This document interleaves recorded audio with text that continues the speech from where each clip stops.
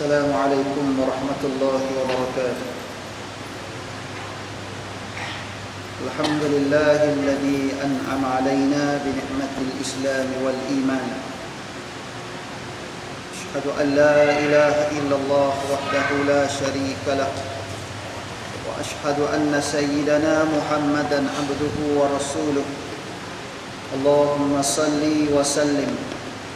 على حبيبنا وشفيئنا وقدوتنا محمد إمام المتقين وقائد الدعاة المجاهدين وعلى آله وأصحابه ومن اهتدى بهديه واستنى بسنته إلى يوم الدين قال رب اشرح لي صدري ويسر لي أمري واحلل عقدة من لساني يفقه قولي. اللهم افتح علينا فتوح العارفين وارزقنا فهم النبيين وإلحام الملائكة المقربين. في عافية برحمتك يا أرحم الراحمين. اللهم لا سهل إلا ما جعلته سهلا رب يسر ولا تعسر. رب تمم بالخير ولا حول ولا قوة إلا بالله العلي العظيم ثم أما بعد Alhamdulillah marilah sama-sama kita merafakkan setinggi-tinggi kesyukuran kita kepada Allah Subhanahu wa taala kerana dengan taufik serta hidayah Allah Subhanahu wa taala kita masih lagi diberi peluang dan kesempatan oleh Allah Subhanahu wa taala. Sehingga sampai saat dan ketika ini kita dipanjangkan umur diberi kesihatan dan kelapangan masa. Dan alhamdulillah dapat lagi kita meneruskan sisa-sisa kehidupan kita ini dengan ketaatan kita kepada Allah Subhanahu wa taala dengan mengimarahkan masjid kita ini dengan kita rakah dan sujud kepada Allah Subhanahu wa taala melalui solat fardu maghrib yang telah sama-sama kita sempurnakan dengan cara berjamaah. Dan pada masa yang sama pada malam ini juga kita dapat meneruskan kuliah maghrib kita pada malam ini. Mudah-mudahan dengan pertemuan ini kita mendapat keampunan daripada Allah Subhanahu wa taala Mudah-mudahan hasil daripada pertemuan ini kita mendapat rahmat dan keberkatan daripada Allah Subhanahu wa taala. Jadi tuan-tuan muslimin muslimat yang dirahmati Allah Subhanahu wa taala sekalian. Insya-Allah pada malam ini kita sambung lagi perbincangan kita berkaitan dengan persiapan untuk kita menghadapi ibadah korban kita yang tidak berapa lama lagi. Jadi ini kali yang ketiga kita perbahaskan berkaitan dengan hukum hakam ataupun permasalahan berkaitan dengan ibadah korban yang insya-Allah sedikit masa lagi kita akan hadapi suasana tersebut dengan penuh kefahaman dengan penuh keilmuan yang telah kita persiapkan sebelum menjelang tibanya musim hari raya ataupun sebelum tibanya hari raya korban dan hari-hari tasyrik. Jadi insya-Allah pada malam ini kita sambung perbahasan seterusnya berkaitan dengan apa yang dibuat dengan korban selepas disembelih. Apa yang sepatutnya kita buat dengan korban kita selepas selesai disembelih binatang korban tersebut maka nak buat macam mana? Nak urus macam mana? Dari segi sudut pensyariatan kita sudah jelas sebelum ini berdasarkan hadis Nabi Nabi pernah bagi tahu antaranya saya ulang kembali berkaitan dengan pensyariatan antaranya Nabi bagi tahu an Aisyah anna Rasulullah sallallahu alaihi wasallam qala ma amila adamiyun min amalin yauman nahri ahabba ila Allah min ihraqid dami innaha la ta'ti yaumal qiyamah biquruniha wa ash'ariha wa azlafiha wa anna ad-dama la yaqa min Allah bimakanin qabla an yaqa min al-ardi fatibu biha nafsan daripada Aisyah radhiyallahu anha bahawa Rasulullah sallallahu alaihi wasallam bersabda tiada suatu amalan yang dilakukan oleh manusia pada hari raya kurban yang lebih dicintai oleh Allah Subhanahu wa taala selain daripada menyembelih haiwan kurban. Sesungguhnya haiwan kurban itu pada hari kiamat pada hari kiamat kelak akan datang beserta dengan tanduk-tanduknya bulu-bulunya dan kuku-kukunya dan sesungguhnya sebelum darah kurban itu menyentuh tanah menyentuh bumi ia iaitu pahala ibadah kurban itu telah diterima di sisi Allah Subhanahu wa taala. Maka beruntunglah kamu semua dengan pahala korban itu kata Nabi sallallahu alaihi wasallam ni salah satu hadis berkaitan dengan pensyariatan ibadah korban antara lain kalau kita telah baca sebelum ni juga dalam ayat surah al-kausar Allah Taala bagi tahu fasalli li rabbika wanhar Setelah mana Allah Subhanahu wa taala dah bagi nikmat yang banyak pada kita. Inna a'tainakal kautsar. Sesungguhnya kami telah kurniakan pada kamu. Wahai Muhammad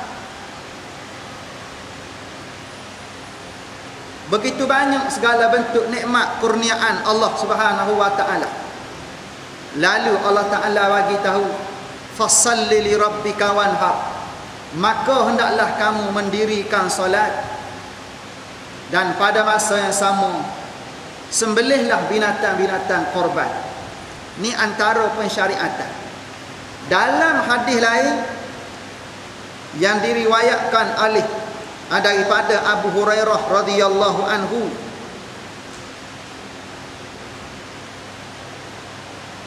Rasulullah sallallahu alaihi wasallam telah bersabda barang siapa mempunyai kemampuan untuk melakukan ibadah korban tetapi tidak melakukan korban. Maka kata Nabi maka janganlah dia menghampiri tempat solat. Maka janganlah ia menghampiri tempat solat kami. Ada nikmat Allah Taala melimpah ruah. Mampu lebih daripada kemampuan. Tetapi tak terlibat langsung dengan ha, dengan ibadah korban. Satu ekor kambing ke satu bahagian lembu ke tak terlibat langsung dengan dia walah Allah Taala bagi melimpah ruah nikmat rumah kenderaan pakaian makan minum semua dalam bentuk kemewahan dan nikmat Allah Subhanahu wa taala.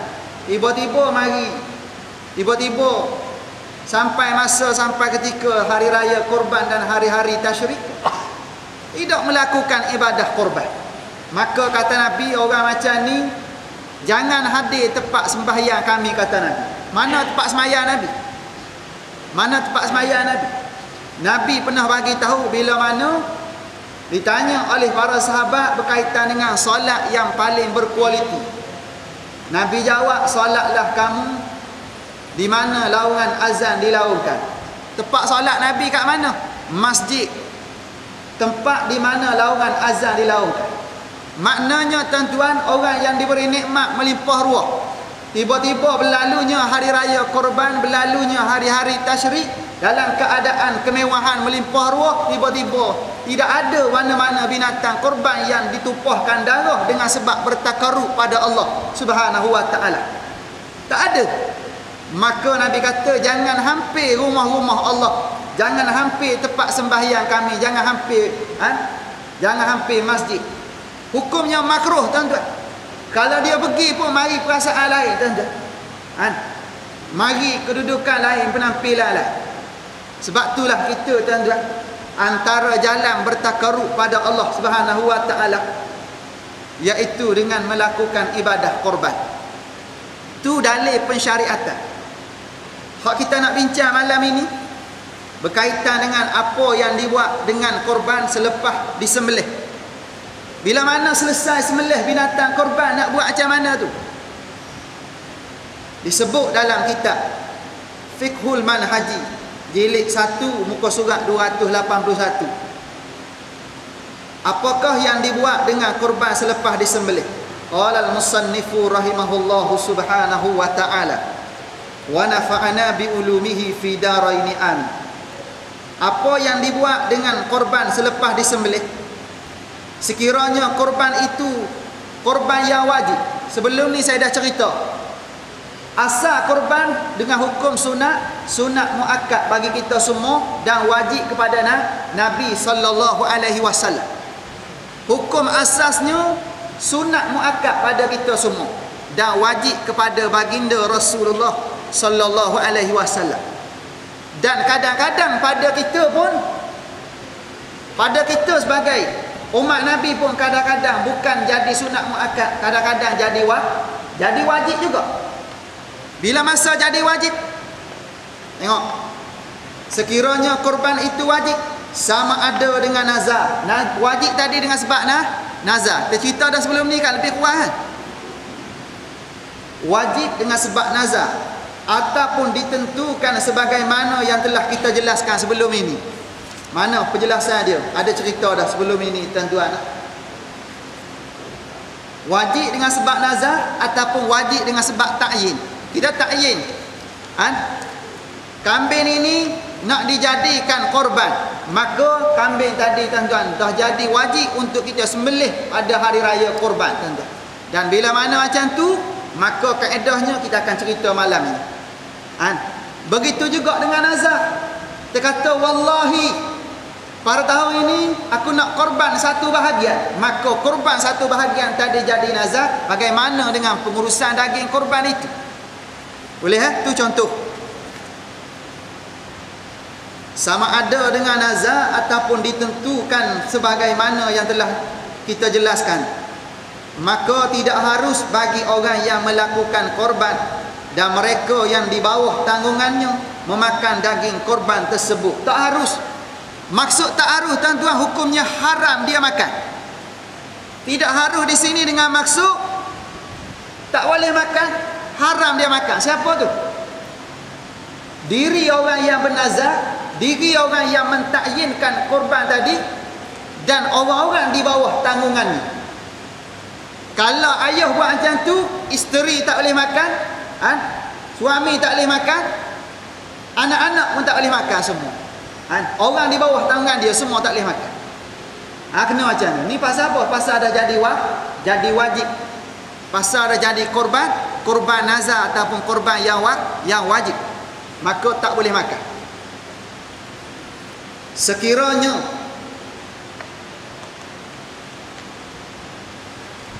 sekiranya salah seorang daripada mereka memakan sedikit daripadanya makan juga sedikit daripadanya salah seorang daripada orang yang tak boleh makan tiba-tiba makan juga.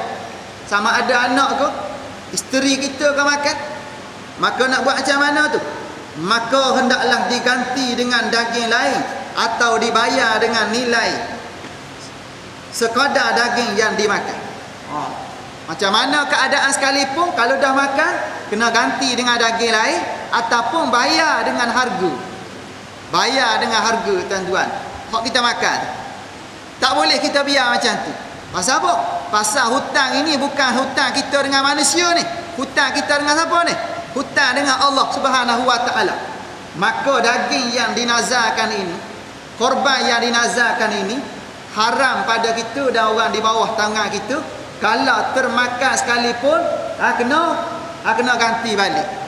Ha, kena ganti balik sama ada ganti dengan beli daging lain ataupun ha, dengan bayaran tidak memadai semelih yang lain tidak tidak memadai tak payah tuan-tuan semelih yang lain ha? Ganti macam tu. Tapi kalau banyak, banyak duit tuan-tuan sembelih ha. Ada masalah, tapi jangan tak panggil saya pula. Allah sembelih. Kan, dengan macam tu. Sekiranya korban sunat, korban wajib kita dah bagi setakat tu tuan-tuan. Kan? Dan sebelum ni kita dah ha, nyatakan kedudukan korban wajib ni sebagai rentetan baru sampai pada tajuk sebenar. Manakala sekiranya korban itu sunat ni umum pada ibadah korban hukumnya sunat sunat muakkad. Maka pengurusan selepas daripada sembelih macam mana?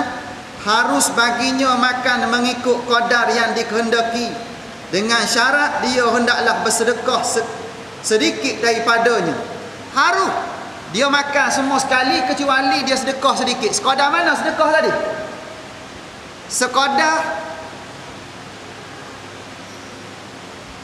sedikit tadi sekolah sekadar sekali makan bagi pada fakir miskin tuan-tuan ha? ataupun beberapa suap untuk fakir miskin Sekadar tu.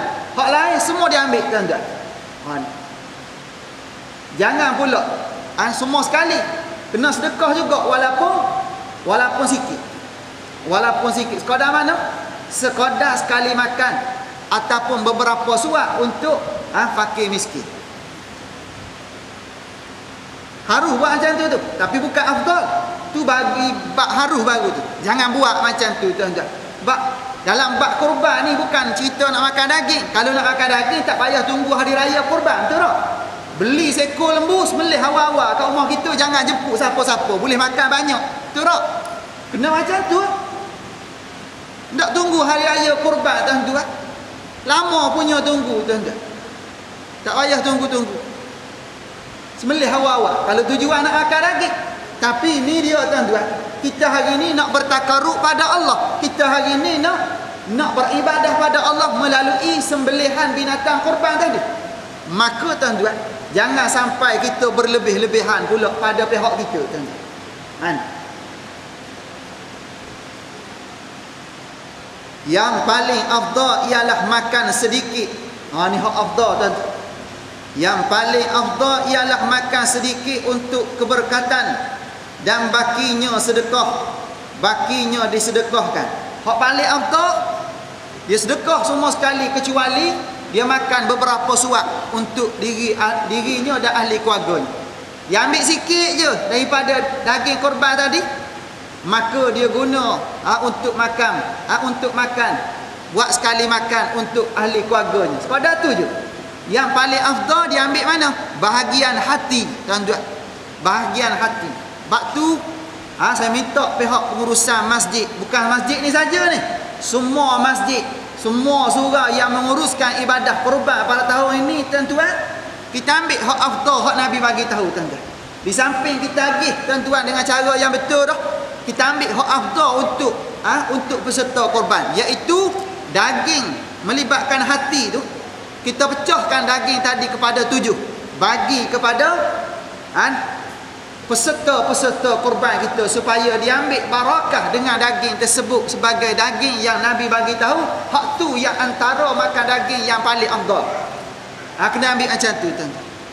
Kalau dia tak nak tu cerita lain. Kita dah bagi di pihak kita pengurusan kita dah berlandaskan pada sunnah Nabi wasallam. Kalau dia tak nak tu dia boleh sedekah pada siapa-siapa. Yang penting kita. Kita yang mengurus tadi biar berlandaskan tata cara dan tertib berdasarkan hadis hadis Nabi wasallam. Jangan ikut hawa nafsu jangan. Tu paling afdal makan sekali makan je. Sekadar sekali makan nak lebih-lebih buat macam mana beli daging betul tak nak lebih-lebih kita beli daging kat luar sana tuan-tuan simpanlah dalam peti ais tu untuk daging kurban kita tuan-tuan ambillah barakah tuan-tuan dengan buat sekali makan ni. Ha. Seterusnya harus baginya makan satu per tiga. Hak ni dalam bab harus lagi ni. Tadi afdal. Ni harus pula. Tadi mula-mula harus dah tadi.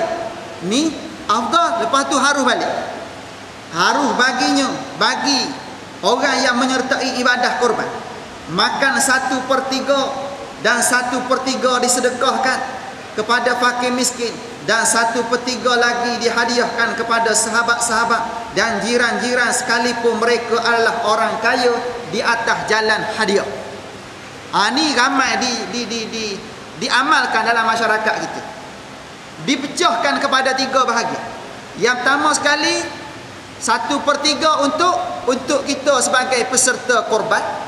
Yang kedua, satu pertiga untuk untuk fakir miskin kita bagi atas jalan sedekah satu petiga lagi untuk jiran-jiran kita rakan taulan kita ha?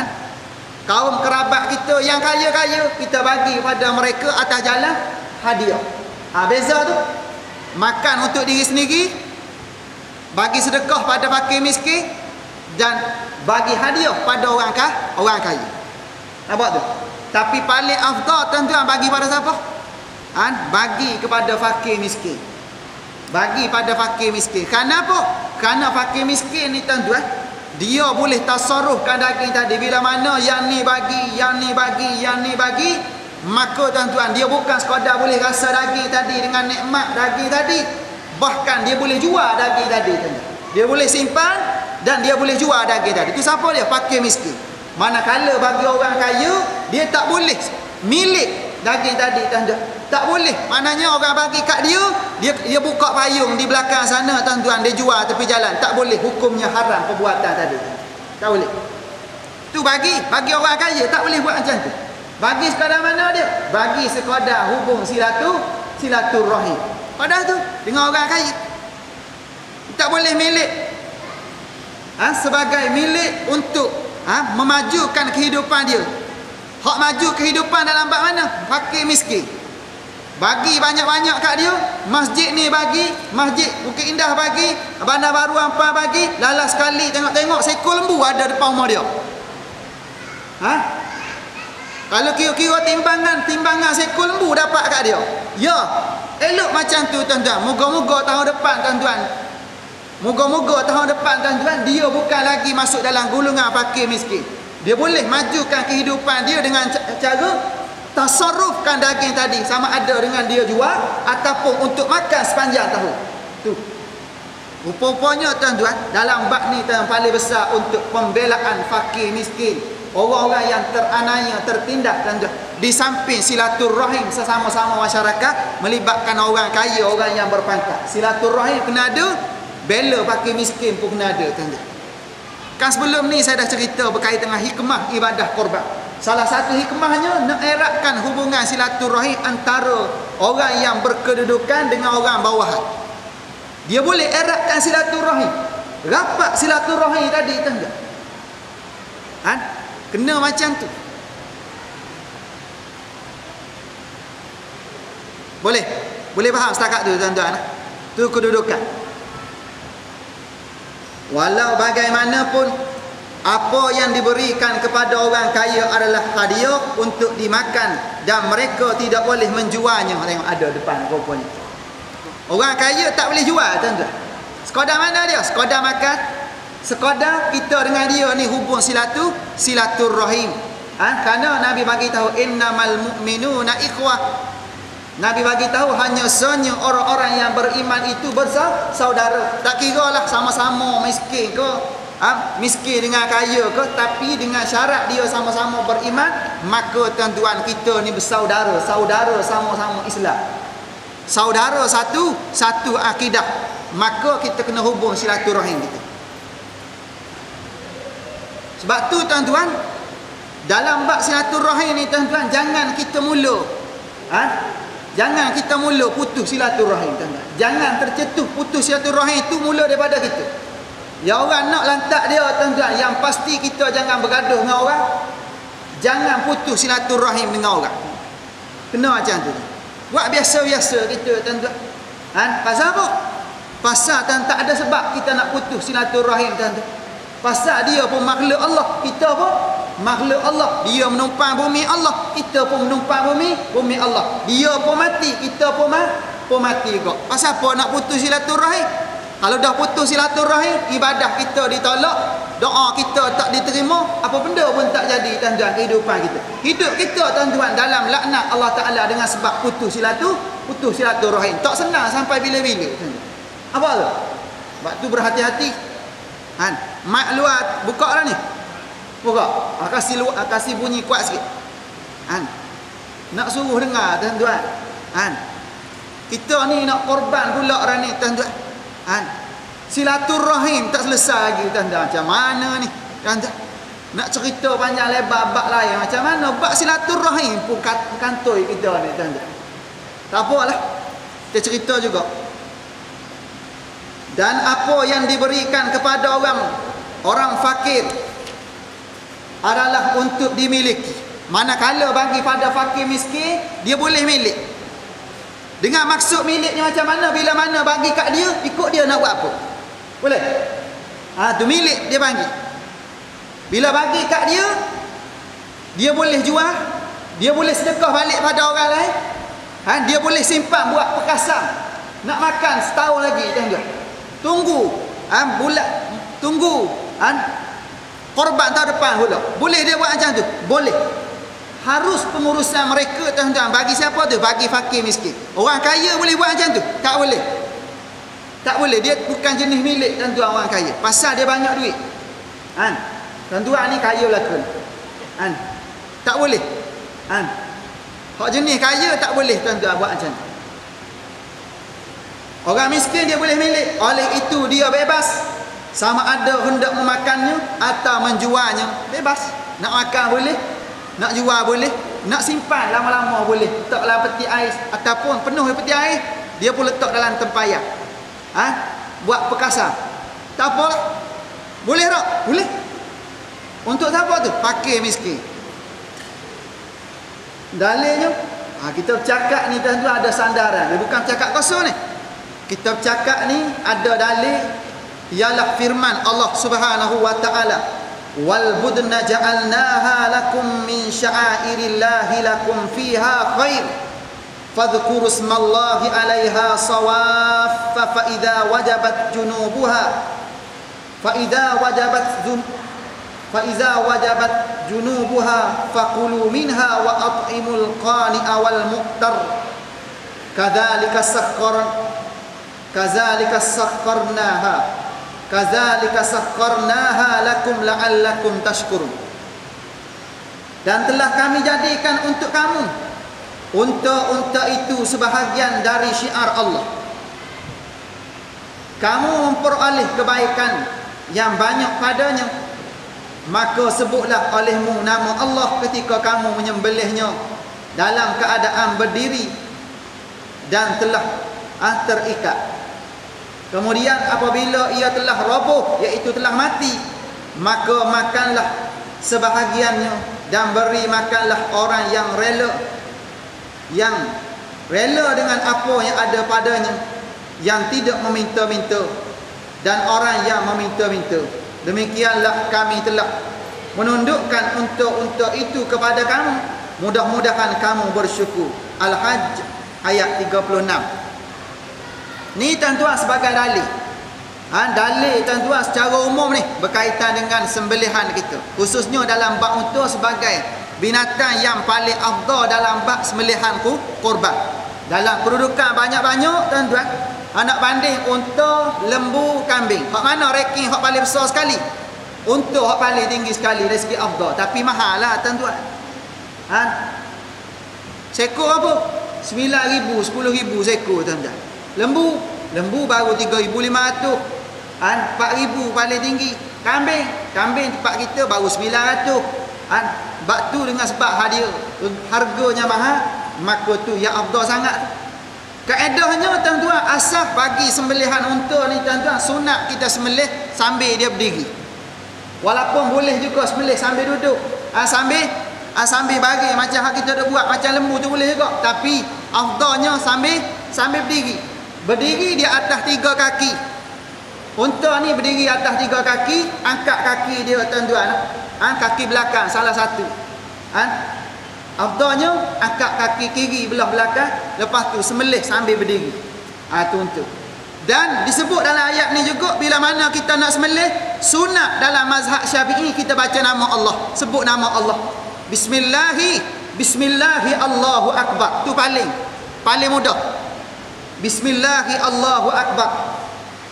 ataupun nak sempurna lagi bismillahi Allahu akbar Allahu akbar Allahu akbar walillahil hamd. Patu-patu. Tu dalam mazhab Syafi'i kita baca macam tu. Dalam mazhab dalam mazhab Syafi'i juga ada perbahasan di kalangan para ulama dia kata boleh juga kita baca bismillahirrahmanirrahim Ha? Walaupun ada setengah ulama kata makruh kita baca bismillahirrahmanirrahim tak kena pada tempat nak sembelih. Ha? Tak kena pada tempat. Pun begitu ada yang mengatakan boleh. Sebab ambil kalimah asal. Ambil kalimah asal dia. Baca bismillahirrahmanirrahim patuh potong. Ha? Walaupun ada sifat rahman, ada sifat rah, rahim. Patutnya dengan kelakuan sembelih tadi tak sesuai lah sifat rahman, sifat rahim tu tapi dengan sebab kalimah itu kalimah asal daripada Al-Quran maka ada ulama kata teruskan baca tak ada masalah. Pun begitu antara yang kuat tuan-tuan pendapatnya baca bismillah. Bismillah aja bismillahi Allahu akbar. Allahu akbar. Allahu akbar. Walillahil hamd. Ah baca macam tu. Ha. dalam mazhab Syafi'i kita tak baca pun tak apa. Sunat je baca tadi dalam mazhab syafi'i sunat saja baca bismillah saja. Kalau kita rasa banyak pahala dah, tak payah baca tak apa tuan-tuan. Terus sembelih je. Memadai sembelihan tadi. Memadai sembelihan tadi tuan-tuan. Okay, kita bagi laluan kepada laungan azan. Kita sambung lepas ini.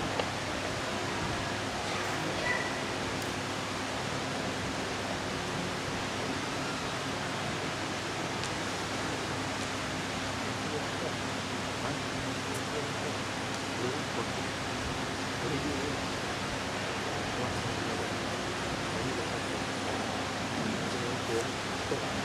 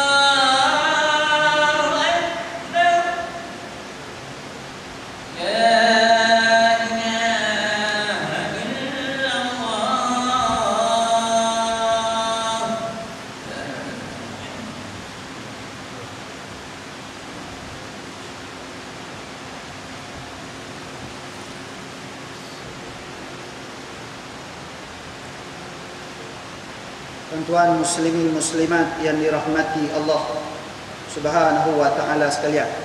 Dalam mazhab Syafi'i dihukumkan sunat kita baca bismillah. Ha, bila mana kita menyembelih ha, binatang kurban baik ataupun sembelihan biasa. Hukumnya sunat. Ha, baca. Maknanya kalau tak baca, terlupa nak baca, pun memadai sembelihan tersebut. Memadai sembelihan tersebut. Berlainan dalam mazhab selain daripada Syafi'i ada mengatakan wajib baca. Wajib baca. Kita pun walaupun sunat jangan tak baca tuan-tuan. Ha? Jangan tak baca baca bismillahirrahmanirrahim Allahu akbar. Ah ha, potonglah. Bahkan pada hari raya kurban ni bukan sekadar baca yang tu. Ha? Sunat kita sama-sama bertakbir tuan-tuan. Sama-sama bertakbir. Ha? Siapa takbir? Janganlah tukang semelih tu tuan-tuan. Dialah takbir, dialah kena semelih tuan-tuan. Semua dia lah ke tuan-tuan. Penatlah macam tu. Orang lain lah takbir. Biar dia mula. Lepas tu diteruskan oleh sahabat-sahabat lain tuan-tuan. Han. Takut-takut sebelum lembu tu korban, tukang sembelih tu korban tuan-tuan. Banyak benda dia nak jaga tuan-tuan. Han.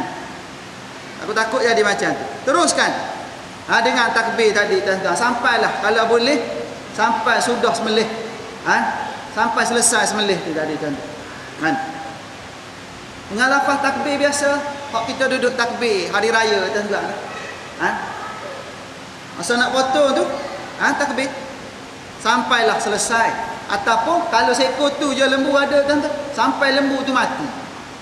Ha? sampai lembu tu mati tuan-tuan. Ha tu takbir. Ha. Tapi kalau lembu tu banyak, ramai tuan-tuan. Ha lepas ni terus nak sembelih yang lain, ha terus pergi tempat lain tu. Ha. Selesai je yang tu, habis je situ, ha pergi terus. Okey, seterusnya.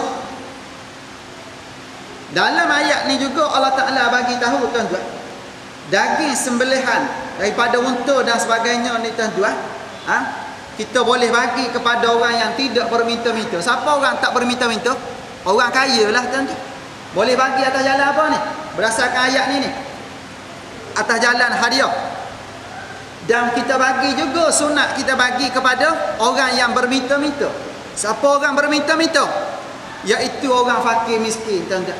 Kalau kita tak bagi, pendek kata digigit jari, tuan-tuan. Pasal? Pasal dia tak ada duit. Ha? Dia terpaksa minta-minta. Sebab tu tuan-tuan, kalau sahabat-sahabat kita hak datang, tuan-tuan, kita tengok dari segi sudut pakaiannya, Tengok dari segi dan ah, rupa parah tuan-tuan. Gambaran dia pada hukum zahirnya dia ni pakai miskin bagilah tuan-tuan. Tak payah berkira panjang sampai bergaduh dan tak payah. Ha? Kerja ni kerja ibadah tuan-tuan sampai ha? Sampai masa muka kerana agih daging kurban ni tuan-tuan tak betul pengurusan. Bagi je tuan-tuan. Ha? Kecuali hak minta tadi siapa? Orang kaya hak minta. Hak ni ketuk kepala tadi tuan-tuan. Dengan ha? Dengan ha, dengan tulang lembu tadi tuan-tuan Ha? Hak kaya pula pun minta-minta. Ha, tak betul macam tu. Kalau hak minta-minta tadi fakir miskin bagi. Bagi. Lebih pun tak apa. Tuan. Pasal dia layak. Tetapi kalau orang kaya. Ha? Tak payah lebih-lebih dia tuan-tuan. Biasa-biasa sudah. Ha? Bagi sekadar silaturrahim tadi tuan-tuan. Atas jalan hadiah pada mereka. Okey. Demikianlah kami telah menundukkan untuk itu kepada kamu mudah-mudahan kamu bersyukur. Tujuannya benda? Ha? tuan-tuan Allah Ta'ala bagi nikmat banyak pada kita sehingga Alhamdulillah boleh tumbang seekor lembu tahun ni boleh tumbang seekor kambing tahun ni tuan-tuan syukurlah dengan nikmat yang ada. Tanda syukur kita semelih binatang korban tadi tuan-tuan. Syukur dan kita agihkan kepada yang memerlukan. Syukur tu tuan dia panggil tuan-tuan. Hak tak syukur duit banyak tuan-tuan. Seekor kambing pun tak ha? tak tumbang Duit banyak tuan-tuan, satu bahagian lembu pun tak tumbang. Maka ni tuan-tuan, ni dia panggil kufur nikmat dia panggil tuan-tuan. Kufur, kufur nikmat. Kita khawatir takut tangguh, takut-takut lain masa Allah Taala tarik balik nikmat tadi tuan-tuan. Ha kena macam tu. Perkataan untuk al-budnu yang terdapat di dalam Al-Quran iaitu binatang unta yang disembelih oleh orang yang ber,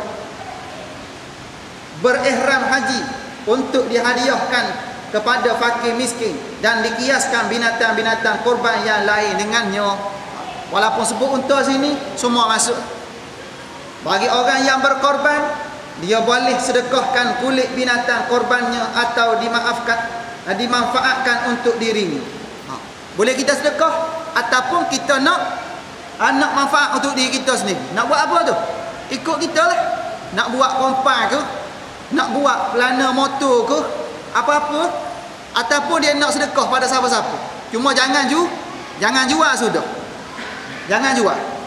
Ha? sedekah pada fakir miskin tiba-tiba fakir miskin jual. Hak tu tak apa. Pasal pasal dah milik dia. Boleh? Tetapi tidak boleh dijual. Atau diberi kepada penyembelih binatang korban sebagai upah kepada penyembelihnya. Tak boleh bagi upah. Ha?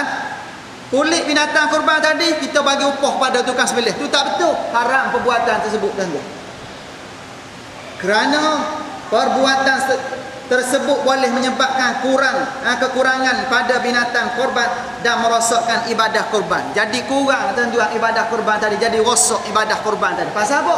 Pasal bagi bagi bagi apa tadi? Ha? Bagi upah. Ha? Daging korban, tulik binatang korban bukan jenis upah tuan-tuan. Nak upah boleh, cari sponsor lain. Cari cari orang kaya tuan-tuan sekitar kita ni ramai minta sponsor dengan dia ha? ataupun bagi terus pada ha? tukang semelih ke orang yang ngurus ke tuan-tuan lebihan di sebalik harga penyertaan korban tu ada kita sebut dalam borang penyertaan korban tu termasuk pengurusan. Ha, termasuk pengurusan tu duit di situ tuan-tuan. Boleh kita nak beli tali boleh nak beli pisau boleh upah ha? tukang semelih boleh upah orang yang melapor ha, guna duit ni. Cuma nak ambil daging tu nak upah boleh tak? tak boleh. Ambil daging nak upah tak boleh. Kena bagi sama dengan orang lain juga berdasarkan kupon yang diterima tak boleh kita bagi. Mentang-mentang dia ni sebagai petugas kita pun ha? bagi lebih. Sedangkan ha? dia ni petugas tuan-tuan. Petugas ni sama je tuan-tuan dengan ahli jawatan kuasa lain tuan-tuan. Dia ni tukang sembelih kita bagi lebih. Menggambarkan sebagai upah kata tu nak lebih boleh tuan-tuan. Ha hak kita. Orang bagi kat kita kita tak nak. Kita bagi kat dia. Halal apa ha kita pakai miskin tapi tengok-tengok dalam peti air rumah kita banyak kita pun nak bagi dekat tukang sembelih tadi ha, tak apa macam ha tapi kalau daripada orang yang mengurus ha, untuk nak buat macam tu sebagai upah tu satu perbuatan yang bercanggah dengan kedudukan asal pengurusan ha, daging-daging korban. Ini kerana perbuatan tersebut boleh menyebabkan kekurangan pada binatang korban dan merosakkan ibadah korban. Al-Baihaqi meriwayatkan daripada Nabi sallallahu alaihi wasallam sabdanya man ba'a jilda udhiyatihi fala udhiyatalah. Barang siapa yang menjual kulit binatang korbannya maka tidak ada korban baginya. Dah.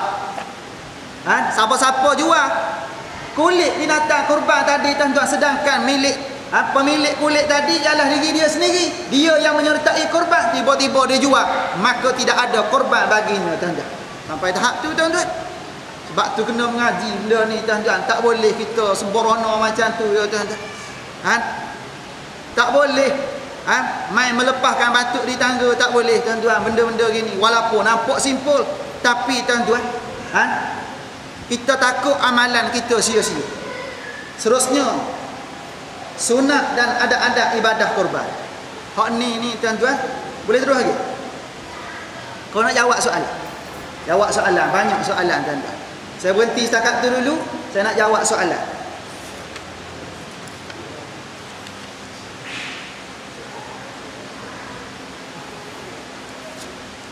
Saya jawab soalan bertulis dulu. Yang pertama sekali, bila waktu afdal peserta korban untuk niat? Bila waktu peserta yang menyertai ibadah korban untuk pasang niat tu? Ha? Niat dalam mazhab syafi'i tuan-tuan, qasdu syai'in muqtarinan bi fi'li. Qasad melakukan satu-satu perkara disertai dengan perbuatannya. Maknanya tak boleh niat sekarang. Raya kurban lambat lagi. Ha? Ada 20 hari lebih lagi. Tiba-tiba kita tengah-tengah isi borang tu kita niat dah situ. Ha? Kalau wakil tak apa. Wakil kepada pengurusan kurban. Lepas tu pengurusan niat pada hari ha, pada masa sembelih tu tak apa macam tu. Tapi kalau kita niat awal-awal macam ni sebelum apa-apa lagi tak boleh. pasal bercanggah dengan kedudukan asal niat dalam mazhab Syafi'i kita macam mana? Han? Dia kata qasdu syai'in muqtarinan bi fi'li. Qasad melakukan satu-satu perbuatan itu disertai dengan perbuatannya sekali. Dengan maksud macam mana? Biar perbuatan tu jalan dengan ha, berserta dengan niat. Mana dia? Afdal niat ni tuan-tuan bila masuk ha, ketika mana darah binatang korban tu sedang mengalir memancu ketika itu. Sebab tu Nabi pernah bagi tahu kepada Sayyidatina Aisyah radhiyallahu anha supaya berdiri bila mana melihat binatang korban bagi yang mampu lihat tuan-tuan. Ha, Nabi bagi tahu pada Aisyah berdiri masa melihat binatang korban sedang disembelih ha? lalu Aisyah tanya ya Rasulullah adakah perilaku seumpama ini hanya khusus bagi keluarga kita? Ha, keluarga. Ha, kita semua sebagai ahli pek lalu Nabi jawab tidak sama sekali perkara ini umum kepada kita ha, dan umum kepada seluruh umat Nabi wasallam. Maknanya boleh ha, dihukumkan sunat bagi orang yang mampu melihat darah.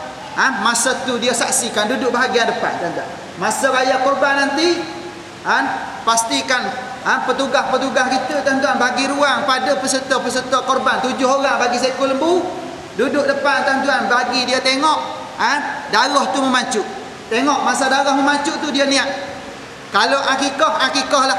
Kalau korban korban. Cara niat korban inilah korban inilah satu bahagian korban yang sunat ke atas diriku pada tahun ini kerana Allah Allah Ta'ala. Itu ha, niat dia kalau satu-satu lah, kalau dua-dua lah. Tengok pada bahagian lah. Kalau sekul lembu kita seorang, ah sekul lah. Manakala nak niat akikah. Sambil-sambil tu, tengok darah macuk tuan-tuan. Tepat niat yang sama. Ha? Niat akikah bagi ayah. Ha? Dia nak niat untuk anak dia. Inilah akikah yang sunat ke atas diriku bagi anakku lillahi ta'ala. Boleh? Ha, tu. Kalau anak tu sendiri nak niat tuan-tuan dengan sebab dia sudah hakir balik, maka niat macam mana? Inilah akikah yang sunat ke atas diriku kerana Allah Taala. Kira tu. Boleh. Maknanya sunat bila masa? Semasa darah binatang korban ataupun binatang akikah tadi sedang sedang memancuk darah ni ketika. Boleh ha? Okey. Ah, yang yang tu masih seborang. Okey. Manakala Pak Kemboja Pak bagi peserta-peserta yang wakalah kepada ha, kepada pengurusan korban di Kemboja ataupun di mana-mana. Bila masa dia nak niat tu? Masa dia wakil kepada dia bukan niat tu dia wakil. Wakil kepada pengurusan. Baca situ ataupun tak baca pun dia wakil. Wakil saya wakil kepada ustaz untuk menguruskan ibadah korban saya ha, dua bahagian pada tahun ini kerana Allah Taala. Kalau akikah akikah lah ha, semua tertulis itu maka pada hari raya kurban nanti kita sana akan tengok balik baca balik satu persatu dan ha, kita niat bagi pihak ha, peserta-peserta kurban. Sampai maksud tak? Dalam mazhab syafi'i hukumnya harus perbuatan tersebut. Boleh? Okey. Seterusnya. Kepala lembu. Kepala kan kepala lembu dan tanduk. Ha? Kepala lembu dan tanduk. Korban. Boleh dijual ke? Ha, selepas penyembelihan. Boleh jual tanduk lembu dengan kepala lembu? Tak boleh tuan-tuan. Ha, tak boleh kita jual. Hadis tadi tuan-tuan kita baru baca hadis tadi. Ha, kepala lembu ke? Ha, tanduk lembu ke? Kulit lembu ke? Semua yang ada kaitan dengan jasad lembu tadi tak boleh kita jual tuan-tuan. Dan tak boleh kita bagi kepada orang kafir tuan-tuan ha? tak boleh bagi pada orang kafir dan tak boleh jual. Siapa tu? Orang yang menyertai korban tetapi kalau kita hadiah pada fakir miskin dah baru dia nak jual tu boleh. Kalau kita dah bagilah pada fakir miskin kepala lembu dia pun tengok eh tiga biji kepala ada depan rumah dia. Dalam sekali dia nak makan sebiji je dalam sekali dia buka gerai depan tu. Kan dia jual kepala lembu ni. Boleh tak? boleh. Bagi dia lah. Tapi bagi kita boleh tak? tak boleh bagi kita yang menyertai korban tak boleh jual daging korban tadi. Sama ada kulit, sama ada kepala, sama ada tanduknya sekali. Kan? Lebihan daripada tu contohnya tulang. Jangan jual tulang pula. Ha? Kita pergi jual tulang kepada ha? restoran suk giabok kan bukan jenis style jual tu tuan-tuan kan lebihan daripada tu tuan-tuan timbus je gali-gali lubang hal letak situ ha, selesai kerja kita boleh okey apakah hukum daging korban diberi kepada petugas korban sebagai hadiah? Kan apakah hukum daging korban diberi kepada petugas korban sebagai hadiah? Hak petugas korban tu orang kaya ke orang miskin? Ha, tanya di situ. Tuan-tuan. Ha? kalau yang bertugas tadi ialah orang yang ha, kaya. Orang kaya bukan masuk dalam kelompok. ha, asnaf zakat dia ni sebagai fakir ataupun miskin maka boleh kita bagi atas jalan atas jalan hadiah bukan sebagai jalan u, upah dengan elok-elok ni silap faham hancur tuan-tuan ha? boleh bagi atas jalan hadiah kepada siapa tadi kepada orang yang kaya Orang yang kaya. Sama ada yang kaya tadi tu pun padang sendiri semelih. Dia lapor, kita bagi hadiah pada dia. Atas jalan hadiah semata-mata. Bukan atas jalan upah. Bagi upah hukumnya haram tuan-tuan. Ha? Haram perbuatan tersebut. Kena ganti dengan daging lain. Boleh?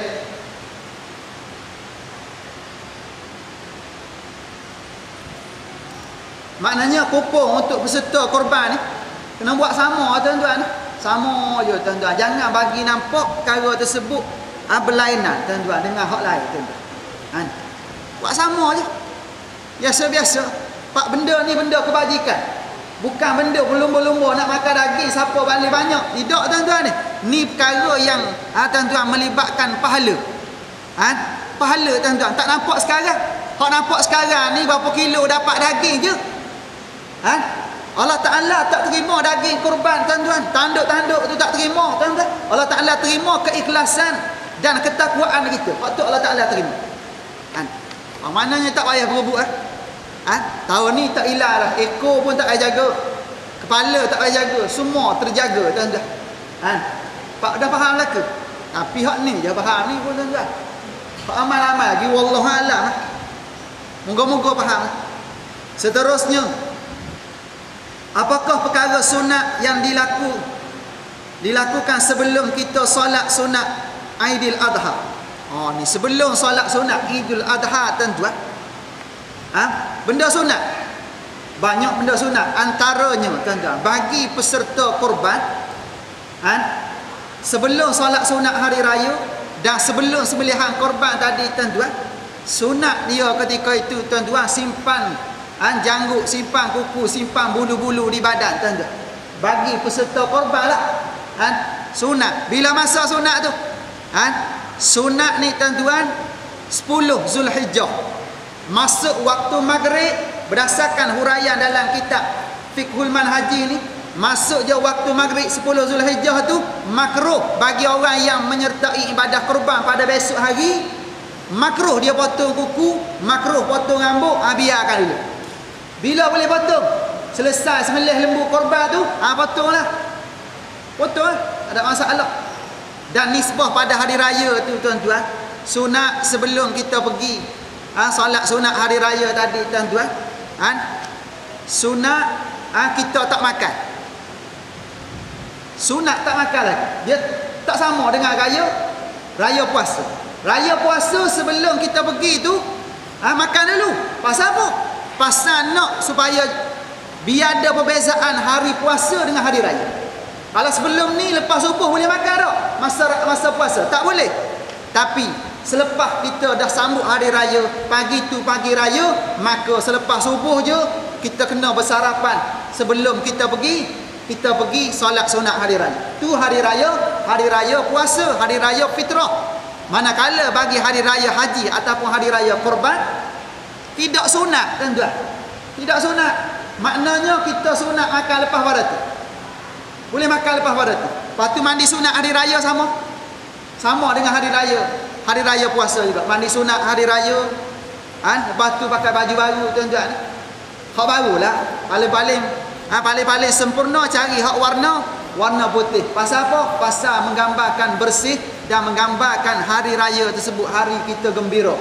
Cari hak warna putih kecuali imam Imam tuan-tuan nak anak suruh nampak goh tuan-tuan dia tuan-tuan biasa dia amalkan warna apa? Warna-warna gelap.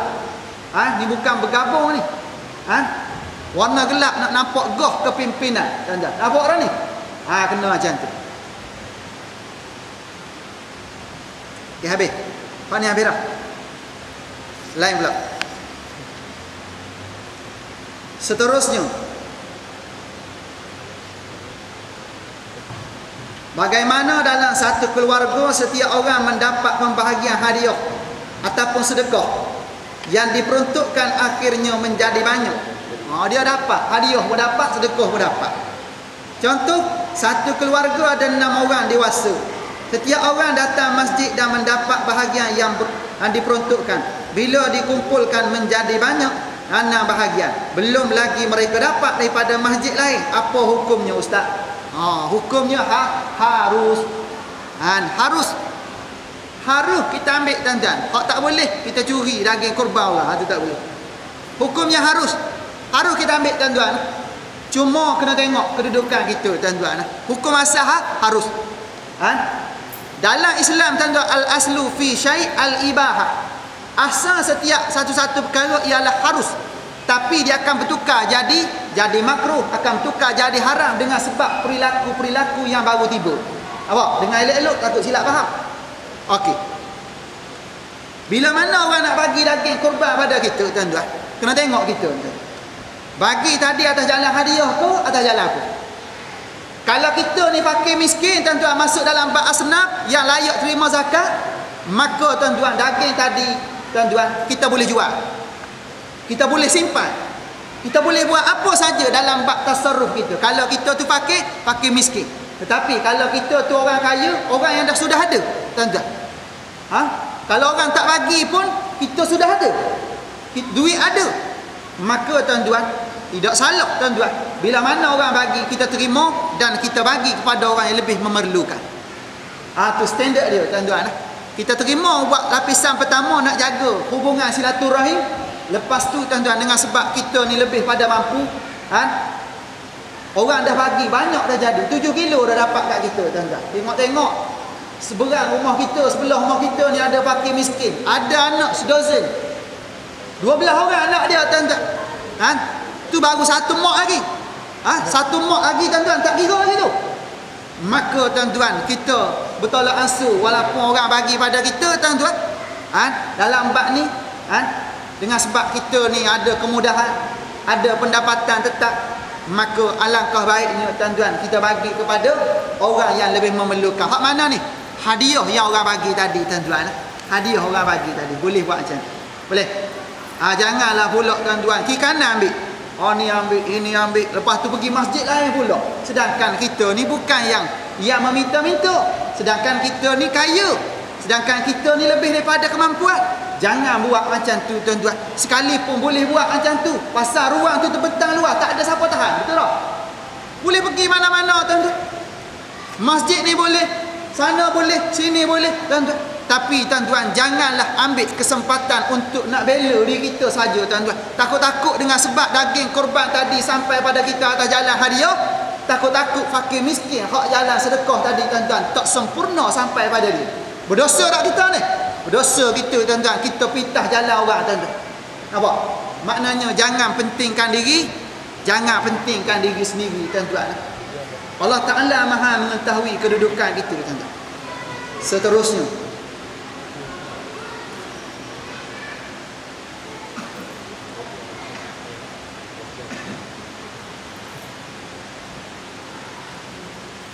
Ada orang tanya ni soalan bertindak tuan-tuan. Orang yang macam mana terima sedekah korban? Orang yang macam mana boleh terima korban tanda? Ha? Hak terima sedekah fakir miskin. Hak terima hadiah orang kaya. Ha tu jawapan ni. Seterusnya bagaimana ada orang yang berkorban apakah patah larangnya? Ha tuan-tuan. Rasa-rasa terjawab dah tadi tapi jawab lagi sekali tuan-tuan. Ada adab bila mana kita berkorban? Ada adab tuan-tuan. Pertama sekali masuk dalam bab sunat ni tuan-tuan, adab berserta dengan sunat tuan-tuan. Saya minta ambil perhatian siapa-siapa yang ha, terlibat dengan ha? dengan penyertaan korban pada tahun dia kena buat ni tuan-tuan sebab sekali setahun sekali setahun kalau tak buat tuan-tuan rugilah nak tunggu tahun depan belum tentu lagi kita boleh hidup sampai raya korban maka perkara pertama sunat dalam ibadah korban yang pertama memilih binatang yang gemuk dan bertanduk serta tidak patah atau pecah tanduknya. Ha ni. Ha ni kemungkinan pada siapa ni? Kepada orang yang menguruh lah di perikat masjid ni mula-mula sekali. Sunat ni. Di perikat masjid dia kena pilih binatang hak gemuk. Jangan pilih binatang hak pecah tanduk. Ha, binatang ha, hak dia pilih tadi kalau boleh hak gemuk hak besar warna putih dan bertanduk ah ha, kena pilih hak macam tu tuan-tuan susah lah ke tu ha, susah lah ke tu ha.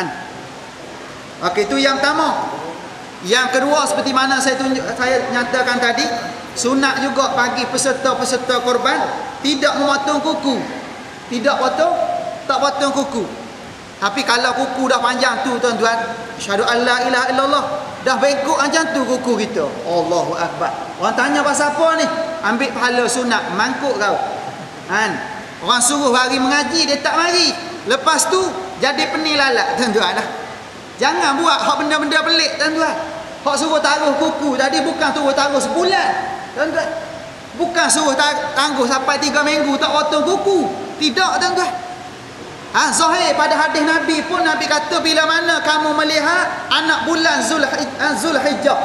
Bila mana kamu lihat anak bulan Zulhijjah. Maknanya daripada satu hari bulan. Apa tu? Tapi dalam mazhab syafi'i kita tuan-tuan mula mana? Mula 10 Zulhijjah. Dalam mazhab kita. Mula daripada mana? 10 Zulhijjah. Kira 10 Zulhijjah tuan-tuan daripada mana? Waktu maghrib. Dalam takwim Islam, dia tak sama dalam takwim Masih. Takwim Masih pukul 12 malam. Detik 12 malam tu. Ha. Yang kita mana?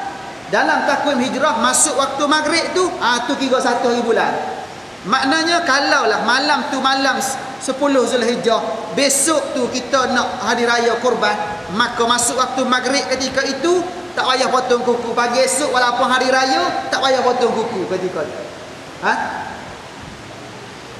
Tidak memotong kuku rambut dan semua bulu yang ada pada badan. Bukan kuku saja semua jenis bulu semua jenis rambut yang ada pada badan kita. Ha, tangguh dulu. Tangguh dulu sekejap kan? Seterusnya yang ketiga seorang lelaki-laki disunatkan menyembelih eh, dan mengagihkan daging haiwan kurban sendiri. Ah sunat tuan-tuan. Kita buat sendiri. Kalau kita ni mampu sembelih, kita sunat sembelih sendiri dan kita agih sendiri. Mampu tak ni? Insya-Allah tuan-tuan eh. Sunat sembelih sendiri. Ah tapi janganlah kalau tak mampu cuba juga tuan-tuan. Takut-takut sebelum lembu tu korban Orangnya kurban dulu. Takut-takut macam tu tuan-tuan. Janganlah. Bagi pada yang mampu lah tuan-tuan lah. Han. Yang mampu pun jangan agresif sangat tuan-tuan. Ikutlah adat yang betul tuan-tuan lah. Han. Kalau orang lelaki lah. Han. Kalau orang perempuan. Tak apalah tangguh dulu lah. Kecuali sama-sama perempuan. Ni dah ada orang lelaki bagi pada orang lelaki. Seorang lelaki-lelaki disunatkan menyembelih dan mengagihkan daging haiwan kurban sendiri manakala perempuan dan orang yang tidak mampu untuk menyembelih disunatkan mewakilkan sembelihan dan menghadiri majlis ha, penyembelihan itu ha, sunat tuan-tuan sunat dia wakil ha, kepada mana-mana orang yang ha, betul-betul dapat laksanakan tuan-tuan sunat ha, orang yang betul-betul boleh jalankan tugas ha, boleh dipercayai kita bagi kat dia tuan-tuan dia buat yang terbaik insya-Allah diterima oleh Allah Taala ha, sebagai ha, sebagai ibadah korban. Okey, ada lagi?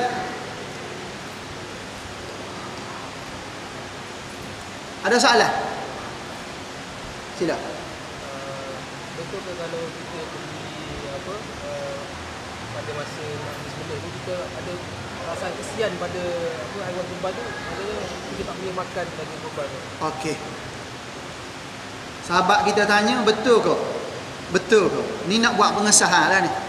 Ha, betul ke? Kalau kita nak sembelih binatang tadi, kita ada perasaan kesian. Ha? Kita tak boleh makan daging tersebut. Ha? Dalam bak ni, ha? apabila sembelihan tu sah, maka daging tu halal. Maksud sembelihan tu sah putus dua urat yang wajib tuan-tuan. Mana dua urat yang wajib putus? Yang pertama urat marih. Urat marih. Yang kedua urat urat halkum. Ha? Ni hak wajib. Urat marih satu, halkum satu. Yang dua urat lagi tu tak ha? Yang dua urat lagi tak wajib. Apa benda dua urat lagi? Dia panggil wadajain. Wadajain ni dia panggil urat darah. Kalau putus dua urat darah ni lembu tu kambing tu cepat mati. Sepatutnya kena macam tu tuan. Ha. Sepatutnya kena macam tu. Boleh? Ha. Maknanya janji sah sembelihan tadi sekalipun ada perasaan kesian ha, maka daging tadi tuan-tuan sah dimakan tuan-tuan. Cuma bila mana kita ni sembelih tuan-tuan Janganlah pula tengok mata tuan-tuan, tengok mata ha? pejam celik, pejam celik eh tak boleh. Bagi kat orang lain lah tuan-tuan. Takut-takut kan kita letak pisau mai rasa kesian tadi tuan-tuan. Terangkat pisau tadi tuan-tuan dengan sebab kesian belah kita pada pada binatang tadi tuan-tuan. Walha tuan-tuan kedudukan ini tuan-tuan lembu-lembu untuk kambing binatang-binatang kurban yang dipilih untuk kan mati dalam bak korban ni tuan-tuan. Mereka cukup gembira dengan sebab mati mereka mati dalam keadaan diguna untuk bertakaruk kepada pada Allah Subhanahu wa taala.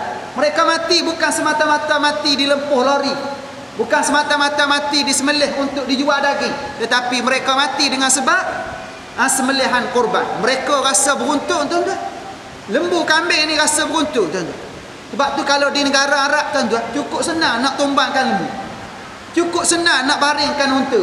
Nak semelih lembu, unta, kambing. Dua orang tuan-tuan. Kita satu kampung. Satu kampung. Tak tumbang-tumbang. Tarik situ, tarik sini. Lembu tak tumbang. Orang je tumbang. Tengok. Pasal apa tu? Pasal tak tahu kaedah tuan-tuan. Kalau tahu kaedah berapa orang? Dua orang pun boleh tu. Boleh tumbang tuan-tuan. Boleh? Ada lagi tak? Muslimah? Kita ada lagi satu kuliah tuan-tuan lepas pada ni last tuan-tuan kuliah saya an pada Rabu minggu keempat. Ada satu lagi. Muslimat eh muslimi. Ada? Ada. Ya. Yeah. Tak ada kita cukup sekadar tu dulu tuan-tuan. Kita sambung di pertemuan kita pada akan datang. Ada sekali lagi tuan-tuan. Ha, tuan-tuan tengoklah ha, perkara.